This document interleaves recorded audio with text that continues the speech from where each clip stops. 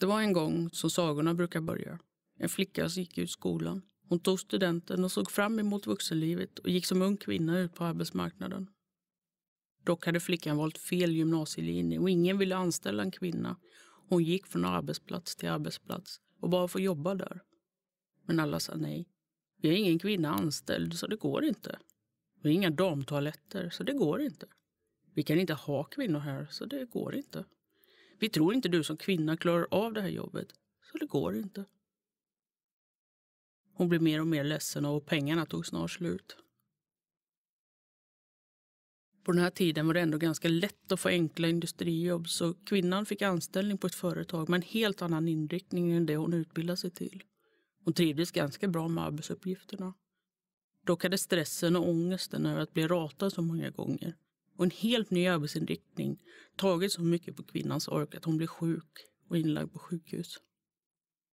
Hon blev kvar ganska länge på sjukhuset för det är ju så som med många andra allvarliga sjukdomar tar det lång tid att bli frisk. Och liksom med många andra svåra sjukdomar kom det tillbaka genom åren och kvinnan återinsjuknade. Tills en dag hon kände att nu, nu är jag frisk och stark. Hon började om på arbetsmarknaden och sökte många jobb.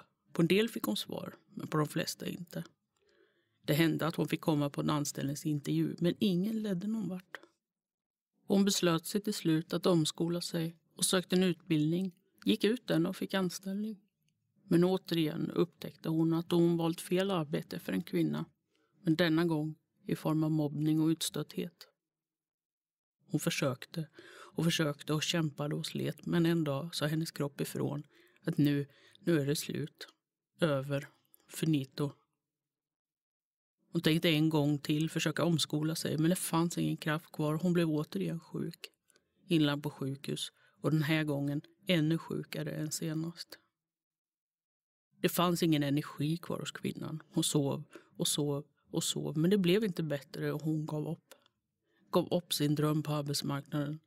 Gav upp sitt hopp på att någonsin kunna förtjäna sina egna pengar eller bli en del av en arbetsgrupp. Hon var misslyckad och beslöt sig för att framtiden var som sjukpensionär. Det gick många år och sakta blev kvinnan starkare och började berätta för andra vad hon varit med om. Hur det kunde varit annorlunda. Hon började lära sig mer och mer och förstå mer och mer om sjukdomen och friskhet, om vad stress och misslyckanden gör med människor. Många bad henne komma och berätta vad det innebar att vara så sjuk och hon hade blivit frisk. Och ett litet, litet hopp tändes hos kvinnan. Kanske var hon inte misslyckad. Kanske fanns det en framtid på arbetsmarknaden. Men vem skulle anställa en kvinna med så lite arbetslivserfarenhet och med så mycket svårigheter? Kvinnan pratade med andra som också hade svårt att få anställning trots att de hade så mycket kunskap och så mycket att ge. Tillsammans så tänkte de att vi har så mycket idéer och kunskap och erfarenheter. Så varför skapar vi inte vår egen arbetsplats? Och sagt och gjort. Ett arbetsintegrerande socialt företag skapades och de kallade det Knopster. Från början var de två och hyrde ett rum med lagen nere i hamnen. Så kom en till och de var tre som satt i hamnen. Sen kom en till och en till och, och plötsligt var de tio och nya lokaler fick ordnas. Detta är ju som ni kanske har förstått inte alls en fiktiv saga utan en sann berättelse om något förenklad. Kvinnan i berättelsen är jag. Jag är idag anställd på Knopster och får arbeta utifrån min kapacitet, mina fulla 100 procent, som kanske fyra timmar idag, två timmar imorgon och åtta på måndag. Men jag får göra det som jag är bra på och jag har mer hopp, drömmar och framtidstro än någonsin.